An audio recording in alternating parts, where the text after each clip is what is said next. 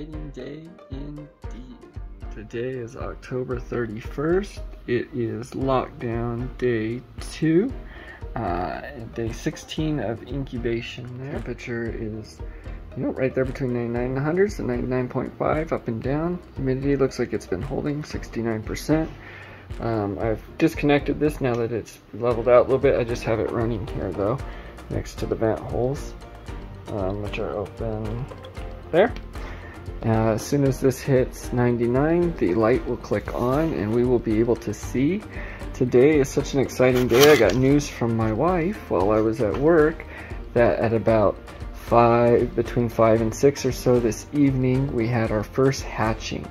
And so it was in the red side, the Myshire side, and so I will denote that on the paper. Alright, so today is the day 16 of incubation. I know for sure there's one hatching, and so we will mark that as soon as this light comes I think it would be neat to put a window in the top of here, maybe a small one at some point. Uh, that's an idea. Anyways, we will confirm hatching, and then I am going to start tomorrow about 9 p.m. again. Um, if one has hatched, that will be, give it a 30 hour time in here before he is removed. Um, I'm going to put the Myshire eggs in the put them in the brooder that I built. I'm to do that because the game, uh, Southwest game birds or the game bird flock is uh, all jumbos and they're a little larger and so I think they'll fit in this one a little bit better.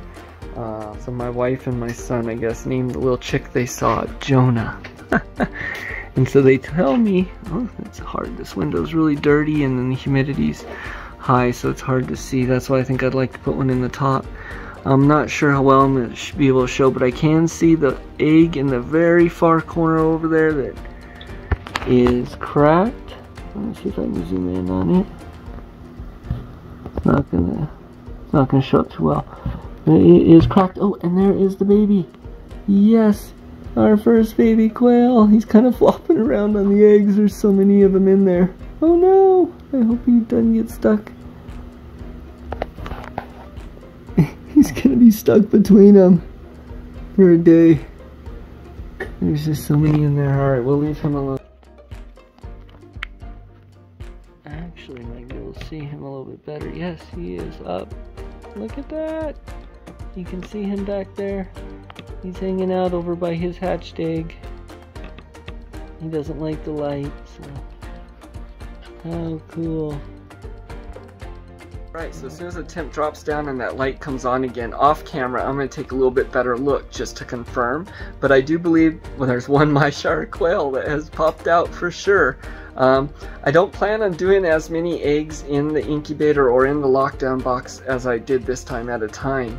Um, and so there'll be a little more room for them to move around. I do feel concerned that he's climbing around on the eggs, and uh, that does bother me. But I do know that he will die if I take him out right away, and so I need to leave him in there for at least a day.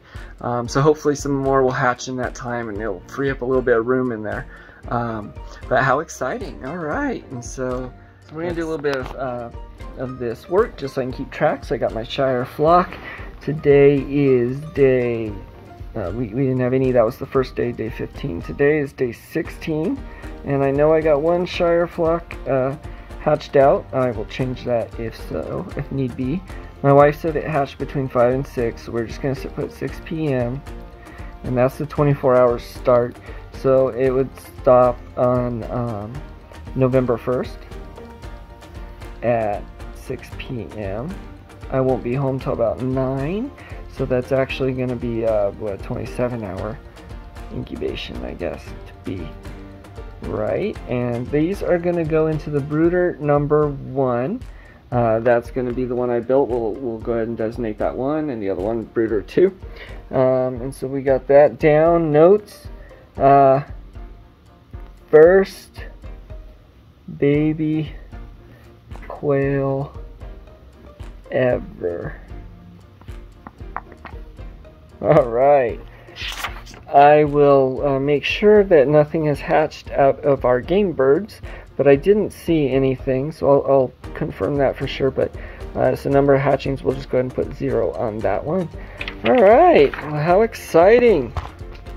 thanks for joining me. If I'm extremely excited, you know, finally the the uh, this part of my adventure or our family's adventure and more um, self-reliance and self-sufficiency uh, gets to begin uh, in with the quail, and so that is an extremely exciting thing. If you've joined and watched us through the process of getting the eggs and hatching them out, um, continue to watch because it's just getting exciting now, um, and I'll continue to film the progress um, all the way up through getting them outside and how they do in the winter and all those things. If you have any specific questions or anyone has any videos they'd like to see, go ahead and leave that in the comments and, and I'll make a video on that. Uh, give it a thumbs up if you like it, subscribe.